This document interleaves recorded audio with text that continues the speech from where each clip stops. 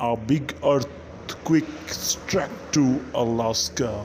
That is very sad news which we are going to share with you and with it the tsunami warning has been released in the coastal areas of Alaska.